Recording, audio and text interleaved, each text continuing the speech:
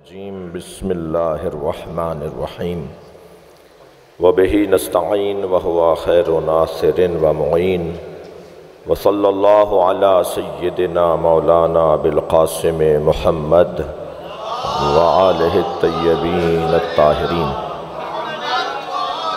वसाहबलमतजबीन अलमतखबीन।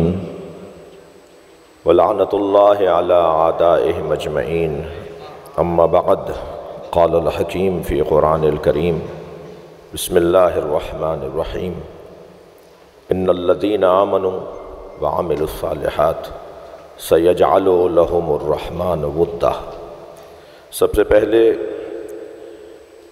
कराची के इस सालाना अजीमुशान योम हुसैन के निक़ात पर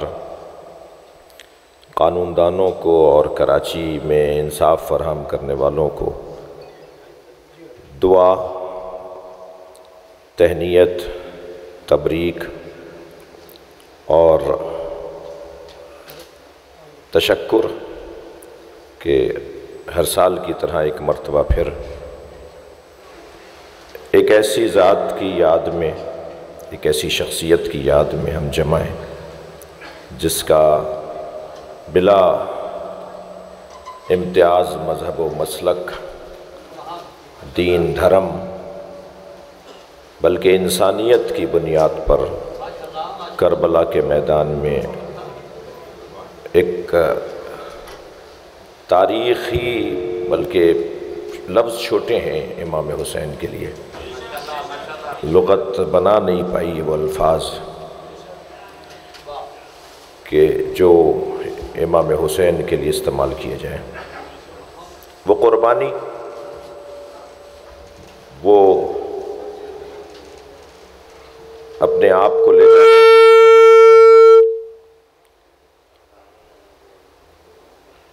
वो अपने आप को पेश करना, वो ख़ुद को उस मैदान में पहुँचा देना जिस मैदान में उनके अलावा तय नहीं था कि कोई और जाए। ये वाद वाक़ है जो रूनुमा होने से पहले भी मनाया जाता था और रूनुमा होने के बाद भी मनाया जाता रहेगा। ये वाद वाक़ है जो करबला से पहले भी इस वाक़े को हज़रत आदम ने दोहराया। कोई ऐसी बात मैं करने का ना आदि हूँ ना करूँगा कि जो मुतफ़ा बात ना हो। जो मुझसे अगर कोई पूछे कि किसी गैर शिया राइटर की किताब में ये दिखा सकेंगे तो मैं वो बात करूँगा जो दिखा सकूँ। और कोई मुनाजरा तो हो नहीं रहा, अकीदत मारे लोग बैठे हैं। अकीदत के मारे लोग बैठे हुए हैं, मुरीद बैठे हुए हैं अहल बैत के। और मुरीद मुरीद है, चाहे वो सुन्नी हो या शिया हो। मुरीद मुरीद है, चाहे वो मुस्लिम हो या हिंदू हो। ख़ास तौर पर हम कराची में और सिंध के सदर मकाम पर आज की इस तकरीब का इनका कर रहे हैं कि जहाँ हिंदू बिरादरी, मैं ख़ुद दो मजलिसें हिंदुओं के यहाँ पढ़ता हूँ। यानी बानी हिंदू होता है, यानी हिंदू बानी होता है, मजलिस का इंतज़ाम हिंदू करता है और मौला का ज़िक्र करने के लिए बुलाता है हमें। तो ये वाली बात तो ज़रूरी नहीं है ज़िमन दोहरा दी गई ये वाहिद वाक़ है जो रूनुमा होने से पहले। हज़रत आदम, वो जो कुरान में आए थे ना, या इबलीस मा मना का तस्जुदालमा खलक तो बेदैया इस तकबरता अम कुनता मिनल आलीन।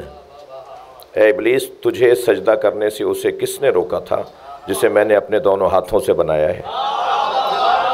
इस तकबरता मुतकबिर हो गया था अम कुंता मिनल आलीन, या आलीन में से था। यानी हज़रत आदम से, मैं नहीं छेड़ो इसको। हज़रत आदम से, हज़रत आदम से पहले कुछ हस्तियाँ थीं जिन्हें कुरान आलीन कह रहा है। उन हस्तियों में सबसे पहला, सबसे बड़ा नाम मोहम्मद मुस्तफ़ा सल्लल्लाहु अलैहि वसल्लम। सरकार सरकार के नूर को अल्लाह ने जनाब असगर दर साहब को मैं दुआ लेने के लिए इस रिवायत को दोहरा रहा हूँ। अल्लाह ने कुछ नहीं था तो मोहम्मद का नूर बनाया। सबसे पहले अव्वलो, मा खलक अल्लाह नूरी, सबसे पहले अल्लाह ने जिस नूर को बनाया वो मेरे नूर को बनाया। सबसे पहली खिलकत अच्छा सब दानश्वर तशरीफ़ फरमा है। अल्लाह वहदुल्ला शरीक है। और वाहिद से वाहिद के अलावा सादिर नहीं होता। वाहिद से इसनैन सादिर नहीं होंगे। सलासा सादिर नहीं होंगे। अल्लाह से एक ही सादिर हुआ है जिसे मोहम्मद कहते हैं। अब सब मोहम्मद से सादिर हुए ये सारी कायनात उनसे बनेगी फिर। तो वो जो पहला नूर अच्छा अजीब हुसन है इस मरहल बयान पर कि अव्वल मा खलक अल्लाह नूरी, अव्वल मा खलक अल्लाहलम अव्वल मा खलक अल्लाहल तीनों हदीसें नबी की हैं। सबसे पहले अल्लाह ने मेरा नूर बनाया, सबसे पहले अल्लाह ने अक़ल को खल किया, सबसे पहले अल्लाह ने कलम को खल किया। जी कलम, शायद उस मजमे से बात हो रही है जिसके पास कलम ही तो है। और आप, आपके कलम अगर कहीं चल जाए, आपका कलम अगर कहीं चल जाए तो इंसाफ मिल जाता है। आपका कलम अगर कहीं टेढ़ा हो जाए तो ज़्यादती भी हो जाती है। तो कलम बड़ी तो सबसे पहले अल्लाह ने कलम को हल किया। कलम पहले बना, ये तजाद है क्या सरकार के फरमान में? सबसे पहले अल्लाह ने कलम को हल किया, सबसे पहले अल्लाह ने अक़ल को हल किया, सबसे पहले अल्लाह ने मेरे नूर को हल किया। ये नबी के कौल में तजाद नहीं है। बल्कि एक कौल दूसरे कौल की तशरी कर रहा है। यानी जो नूर मोहम्मद है वही अक़ल है। जो नूर मोहम्मद है वही अक़ल है। और जो नूर मोहम्मद है वही कलम है। अल्लाह ने ये सारी कायनात जिस कलम से लिखी है उस कलम को मोहम्मद कहते हैं। नारे तकबीर।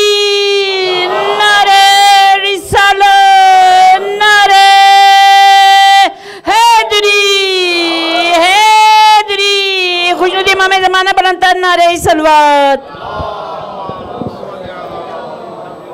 अलबत् सकीना बाजी को बताने की ज़रूरत है, ये कराची बार में योम हुसैन हो रहा है, आपके इमाम बारगाह में नहीं हो रहा। तो थोड़ा सा अपना लहजा यहाँ के हिसाब से बनाइए। तो ये मैं हर साल शिकवा करता रहा हूँ। देवबंदी बिरादरान भी बैठे हैं, बरेलवी भी बैठे हैं, शिया भी बैठे हैं तो हमें सब के मिजाजों का ख्याल करना होगा।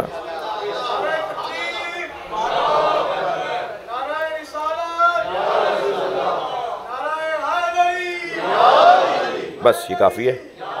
बस ये काफ़ी है। एक सलवात पढ़ लें ज़रा मोहम्मद वाले।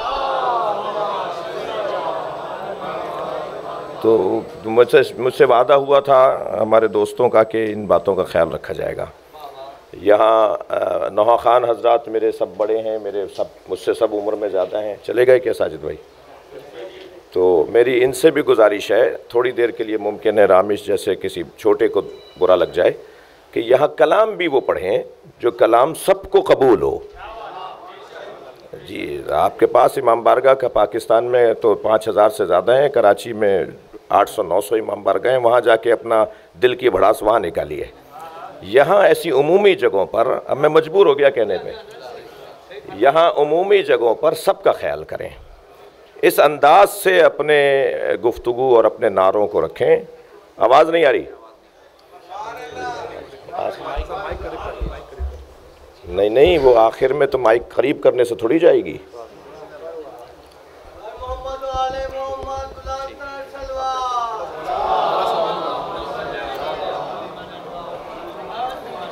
मैं मैं कहता हूँ आपसे, नारे तकबीर। नहीं नहीं नहीं, नारे तकबीर। और बेहतर हो सकता है, नारे तकबीर। नारे रिसालत। और बेहतर, नारे रिसालत। नारे हैदरी। नारे हैदरी। जो जैसी सलवात पढ़ता है, एक सलवात पढ़े।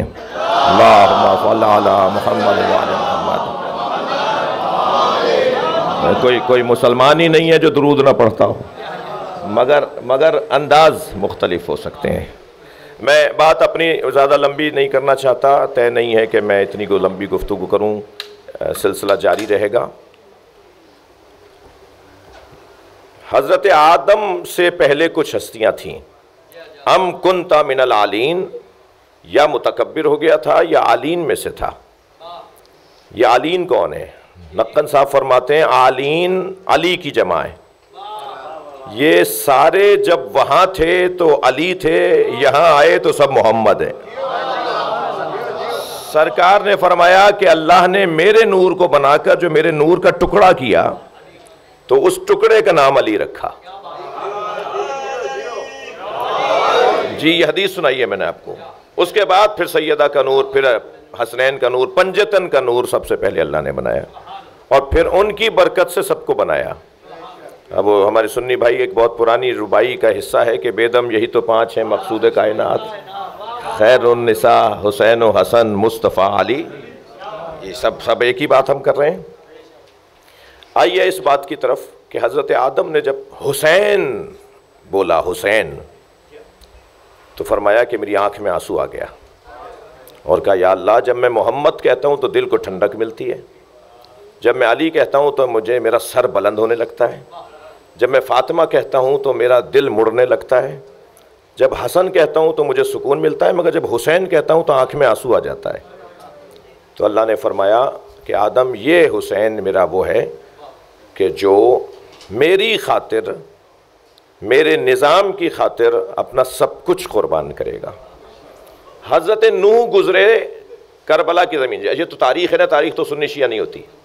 हज़रत इब्राहिम नूह गुज़रे करबला की ज़मीन से तो आपका घोड़ा गिर गया। आप भी गिरे, ज़ख्मी हुए। पूछा, या अल्लाह, क्या मुझसे कोई ख़ता हुई है?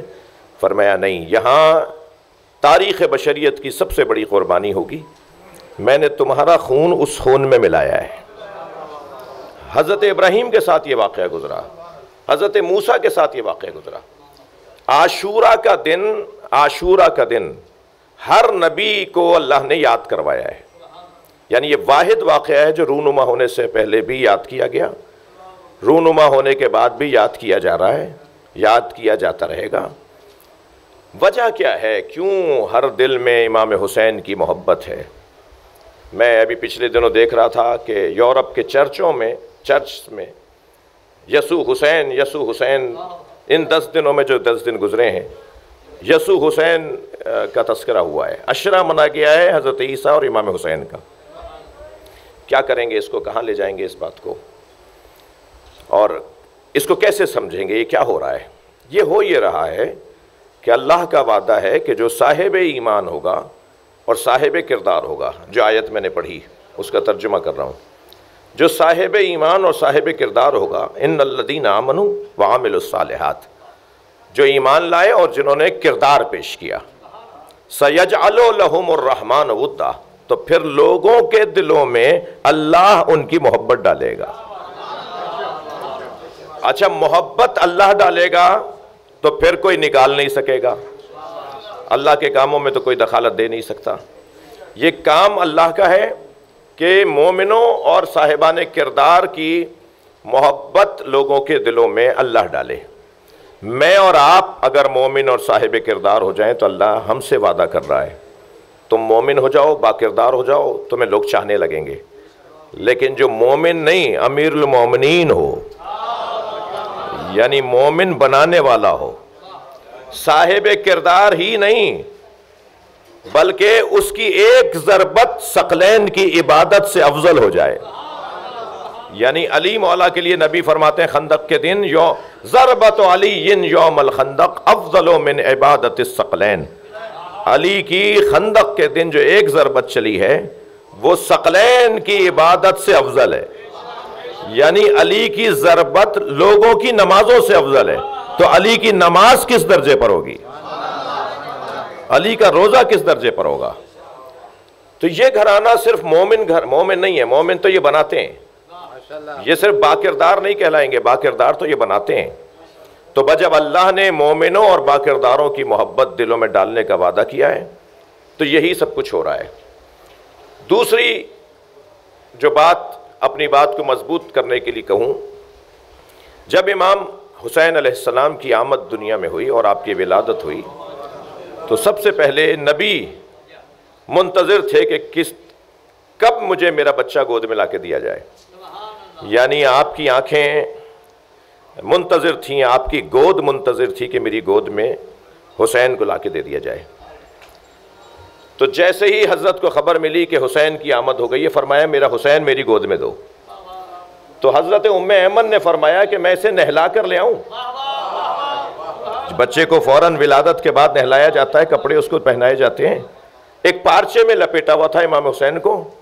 फरमाया, या रसुल्ला मैं इसे नहला यानी इतना, इतनी शिद्दत से आप मांग रहे थे कि मेरी गोद में दे दो, कि इतनी शिद्दत से बार बार कह रहे थे कि बीबी को ये कहना पड़ा, हज़रत उमैमन कनीज़ हैं। हज़रत अबू तालिब की कनीज़ थी, फिर सरकार की कनीज़ हुई। उन्होंने फरमाया कि मैं इसे नहला कर ले आऊँ। तो फरमाया, जिसे अल्लाह ने पाक बनाकर भेजा है, तुम उसे क्या पाक करोगी? मुझे ऐसे ही मेरी गोद में मेरा हुसैन दे दो। और फिर ऐसे ही अपनी गोद में इमाम हुसैन को लिया। और लेकर जैसे कोई चीज़ पेश करते हैं ना, किसी को दोनों हाथों पे उठाकर, ऐसे दोनों हाथों पे उठाया, बिला तशबी तसव्वुर में जाएँगे हम तो। दोनों हाथों पर उठाया और अल्लाह की बारगाह में एक मुनाजात का जुमला इरशाद फरमाया, सरकार ने। फरमाया, रब्बना फजअल अफ़दतन मिनन्ना से तहवी इलहम। या अल्लाह, लोगों के दिलों को मेरे हुसैन की तरफ़ मोड़ दे। लोगों के दिलों को मेरे हुसैन की तरफ़ मोड़ दे। वो जो अल्लाह ने कहा है कि जो मी मोमिन और बाकिरदार होगा, उसकी मोहब्बत अल्लाह लोगों के दिलों में डालेगा। और जो नबी ने फरमाया कि मेरे हुसैन की तरफ़ लोगों के दिल मोड़ दे, वो अल्लाह का वादा, ये नबी की दुआ और ये नतीजा जो आज हो रहा है। यानी पूरी दुनिया में हर एतबार से, अपने अपने एतबार से हर शख्स इस शख्सियत, इस ज़ात वाला सिफ़ात को याद कर रहा है। सवाल उठाऊँगा एक और उसका जवाब देकर आपसे दुआ चाहूँगा। वो ये कि क्यों इमाम हुसैन की तरफ़ लोगों के दिल मुड़ जाएँ? कोई रस्म अदा होनी है? कोई रिवाज बनना है? क्या वजह क्या है? क्यों अल्लाह मोड़ना चाहता है हुसैन की तरफ़?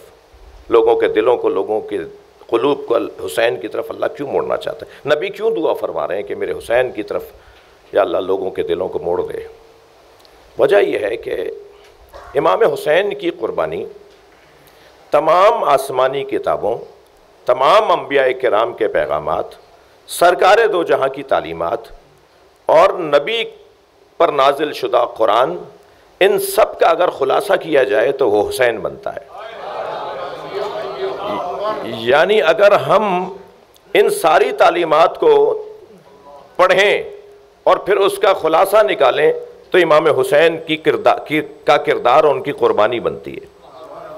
मैं मिसाल देता हूँ करबला में इमाम हुसैन ने किसी एक ज़बान बोलने वाले को नहीं, किसी एक मसलक को नहीं, किसी एक रिश्ते को नहीं, किसी एक को नहीं, यानी जिस तरह कश्ती नूह फरमाया भी है, मेरे अहल बैत की मिसाल कश्ती नूह की तरह है।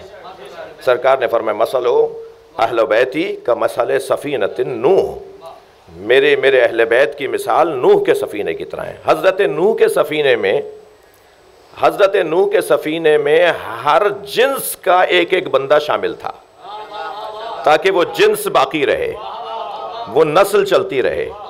ये करबला भी हज़रत नूह की कश्ती जैसी है।